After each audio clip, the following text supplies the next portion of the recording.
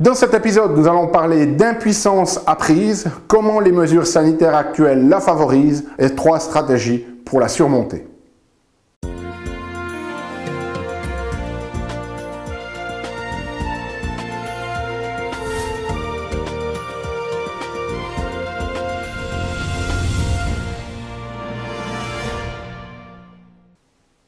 Parce que la vie est bien trop magique pour être un petit et que nous avons tous besoin d'une prescription pour grandir en conscience et faire que nos rêves dévorent notre vie. Bonjour, je suis le docteur Yannick Poli, bienvenue à un nouvel épisode d'une grande vie où chaque semaine je vous propose de découvrir des stratégies pratiques pour grandir en conscience, qu'elles soient d'ordre physique, émotionnel, psychologique ou spirituel, parce que c'est cette conscience qui est au cœur d'une vie pleinement vécue et de notre évolution en tant qu'être humain.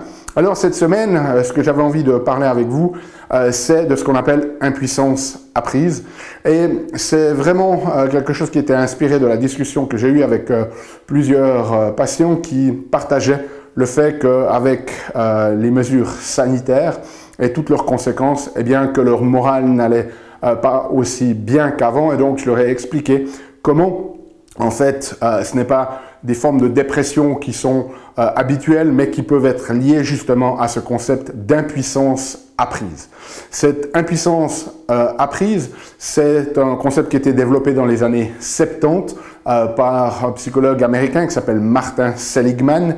D'autres chercheurs ont ensuite participé. On l'appelle aussi théorie du manque d'espoir ou du désespoir. Et donc, ce que je vais vous présenter aujourd'hui, c'est qu'est-ce que c'est? Comment c'est favorisé, comment ça va nous affecter? Et ce que vous pouvez faire pour l'éviter. Alors c'est quoi cette impuissance apprise? Ben, Tout d'abord, il y a la notion d'impuissance et puis il y a la notion d'apprise. Ça veut dire que ce n'est pas quelque chose qui est inné en nous, c'est quelque chose qui va être favorisé par les circonstances.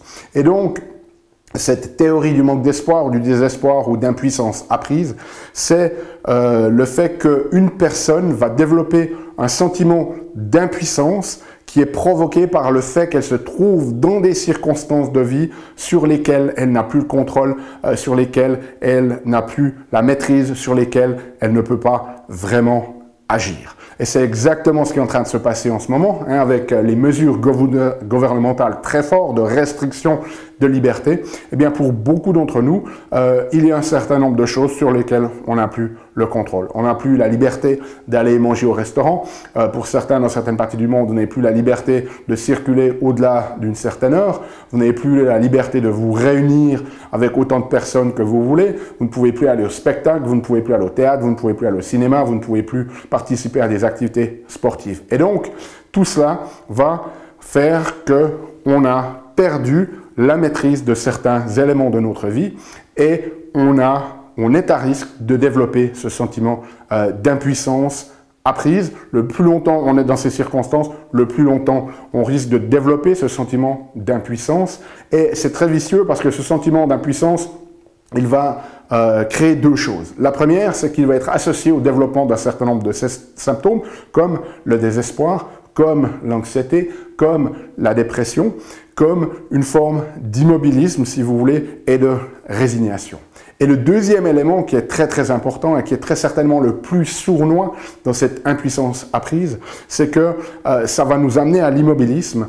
Et cet immobilisme, euh, ce manque d'action finalement, euh, ce manque de maîtrise, eh bien il va se reporter, se déverser sur d'autres éléments de notre vie. C'est-à-dire que il y a peut-être des aspects de notre vie sur lesquels on a encore le contrôle, on a encore la maîtrise, mais de par le fait que nous sommes plongés dans des circonstances plus générales où là on n'a plus le contrôle, où là on n'a plus la maîtrise, eh bien on s'immobilise et finalement, on ne passe même plus à l'action sur ces éléments de notre vie sur lesquels nous avons encore euh, le contrôle.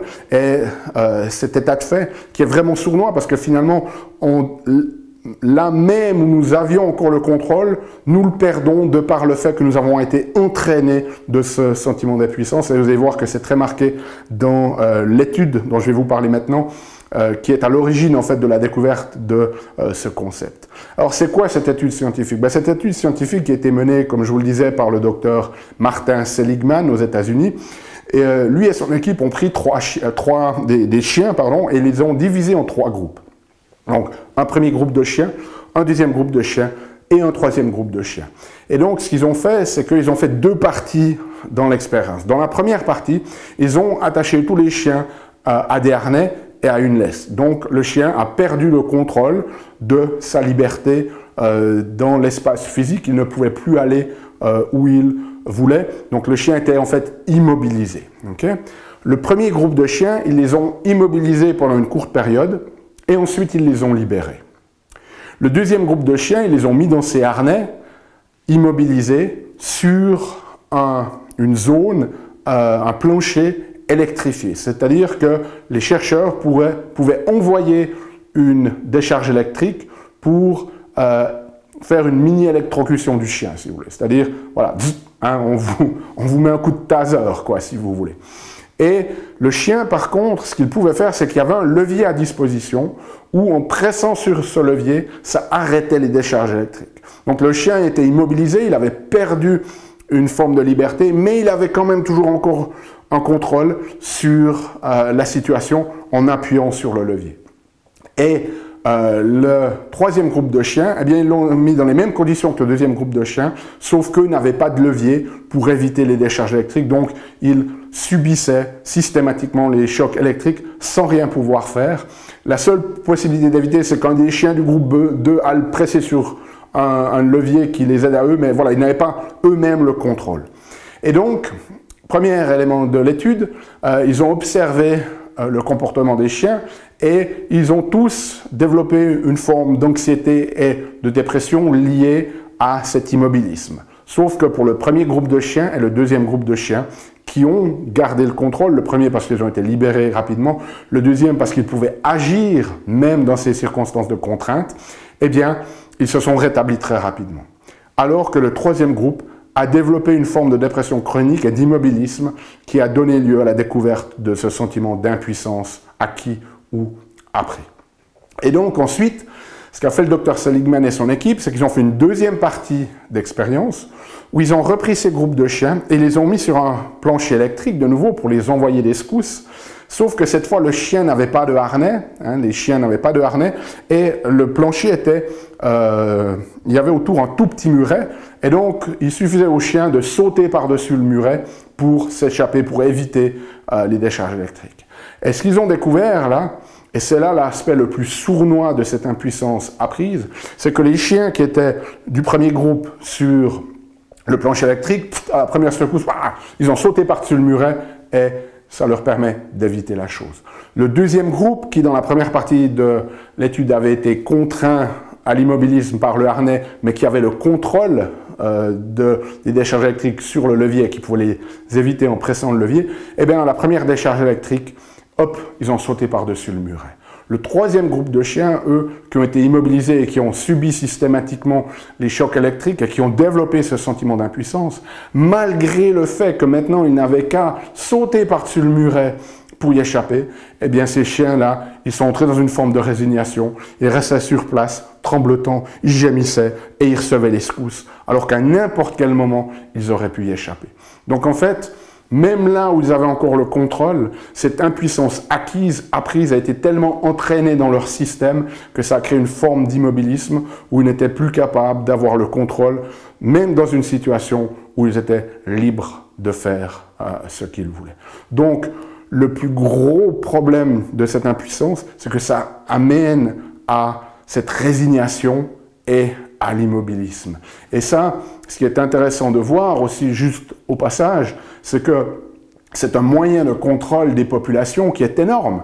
C'est-à-dire que à force de mettre des mesures liberticides sur les gens, ben les gens entrent dans cette forme d'immobilisme, de résignation, et ils n'en vont même plus ensuite manifester leur mécontentement une fois même que les circonstances euh, liberticides auront été enlevées. Et ça, c'est très vicieux, c'est très sournois. Alors, trois choses que vous pouvez faire ici maintenant pour finalement vous mettre un peu dans la situation du groupe 2, quoi. C'est-à-dire que pour le moment, ben voilà, on n'a pas la liberté, on est comme les chiens du groupe 2, on a ce harnais qui nous immobilise, mais au lieu d'être comme le groupe 3, on n'est plus aucun contrôle, voilà ce que vous pouvez faire pour garder un contrôle de la situation, pour qu'une fois que ces mesures auront été enlevé, on l'espère le plus rapidement possible, eh bien, vous puissiez récupérer complètement et que vous ne tombiez pas dans ce troisième groupe, que vous ne développiez pas cette impuissance qui fait qu'ensuite,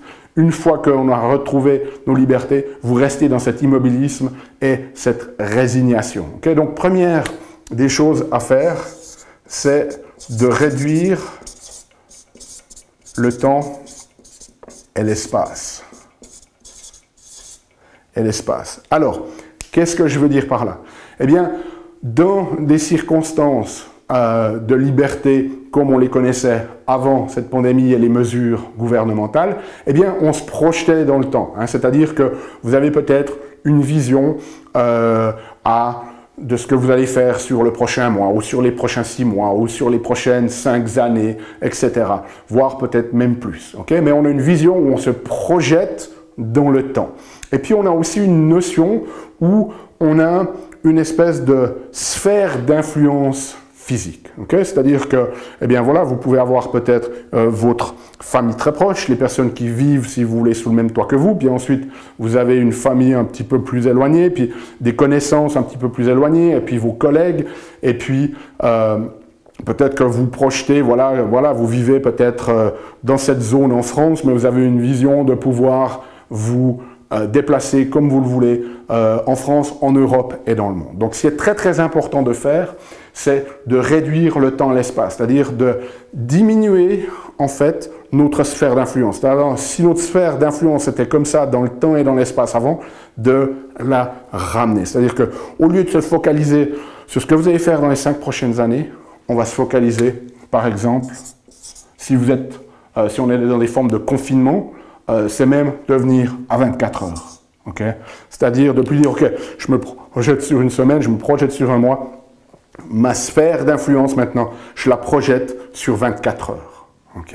Et puis, en termes d'espace, je réduis les choses et je me focalise sur mon environnement immédiat. Ma famille proche, mon domicile, mon appartement, ma maison. Donc on va réduire ça. Parce que le plus on ouvre, le moins on a d'influence, hein, on a le plus d'influence sur ce qui est proche de nous, dans le temps et dans l'espace, et le moins d'influence sur ce qui est là-bas. Donc on va ramener ici ce contrôle.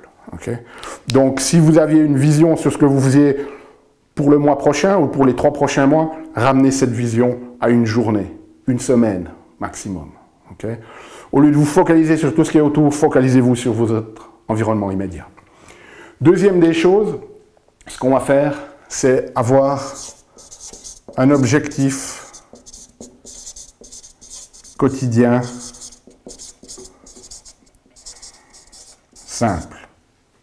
OK Objectif quotidien simple que vous pouvez maîtriser. C'est-à-dire avoir au moins une chose, un but que vous vous fixez en début de journée qui est facilement atteignable en fin de journée.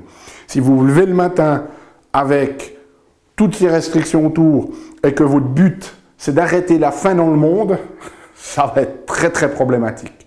Par contre, si le but pour aujourd'hui, c'est de manger au moins un repas très sain avec euh, beaucoup de légumes et des fruits dedans, eh bien c'est envisageable. Et le fait d'avoir un objectif atteignable, que vous atteignez chaque jour, comme ça, eh bien ça vous permet comme le groupe numéro 2 de chiens, même si vous êtes dans une restriction de liberté, ça vous permet de garder le contrôle. C'est un peu l'équivalent de pouvoir presser sur le levier. Donc ça, très très important. Et troisième élément, dans cet objectif quotidien simple, eh bien, c'est d'avoir quelque chose de créatif ou de contributif. C'est-à-dire, si vous êtes un artiste, même si vous n'aurez pas l'occasion d'aller partager votre chanson en public, au contact du public, créez votre chanson. Continuez de créer. N'abandonnez pas la création parce qu'il y a cette perte de liberté et que peut-être votre création ne pourra jamais être partagée dans le monde. Continuez de la partager. créatif, c'est cela. Contributif, ça veut dire sortez de vous-même. Sortez de vous-même et contribuez aux autres. Alors, comme on l'a dit, en ayant réduit notre espace immédiat, contribuez autour de vous. Si vous avez envie de contribuer, pas besoin d'aller vous dire j'ai besoin d'aller nourrir toutes les personnes euh, autour de Lausanne, autour de Paris. Ça peut être d'aider juste la personne qui est à côté de chez vous, votre voisin, de palier. Mais soyez dans la contribution. Sortez de cette notion, voilà, juste moi, moi, moi, moi, moi, participez aux autres, soit par la création, soit par la contribution. Et si vous faites cela tous les jours, en ayant réduit cet espace-temps, autour de vous, vous allez garder beaucoup plus de maîtrise. Un objectif simple, tous les jours, le soir peut-être même avant d'aller dormir, vous dites, OK, demain voilà ce que je vais accomplir, quelque chose de très simple que vous puissiez faire, et le plus ce quelque chose de simple est dans le créatif ou dans la contribution, le plus ça va vous aider à maintenir ce contrôle. Parce que comme je vous l'ai dit, c'est très très important. Si vous êtes, et on est comme ces chiens maintenant, dans le harnais, eh bien ce qui va déterminer si on va continuer de pouvoir retourner à une vie normale, entre guillemets, de continuer d'être libre et finalement d'exprimer nos besoins, ça va être cette différence entre rester un temps soit peu sous contrôle, ou alors être comme dans le groupe de chiens numéro 3, qui part totalement dans l'impuissance, et là, ils auront gagné. Ces gouvernements qui nous ont mis ces pertes de liberté, ils auront gagné parce qu'ils auront créé une population qui, même une fois où on aura enlevé les contraintes, eh bien, qui ne se lèvera plus parce que elle est dans ce sentiment de désespoir, dans cette impuissance acquise, dans cette résignation, dans cet immobilisme. Et là, si on en arrive là, en tant que société, eh bien là, on aura vraiment perdu nos libertés. Donc gardons au niveau individuel ce petit contrôle que l'on peut avoir en réduisant notre espace-temps, en nous focalisant chaque jour sur un objectif simple à accomplir qui a soit un élément de création, soit un élément de contribution. Laissez-moi savoir ce que vous décidez de faire chaque jour en tant que création ou de contribution dans les commentaires. Si vous avez besoin de la transcription de cet épisode, elle est disponible sur notre site unegrandevie.com. Nous, on se retrouve la semaine prochaine pour un nouvel épisode. D'ici là, souvenez-vous, aimez la vie, émerveillez-vous et contribuez. Contribuez chaque jour un petit peu plus.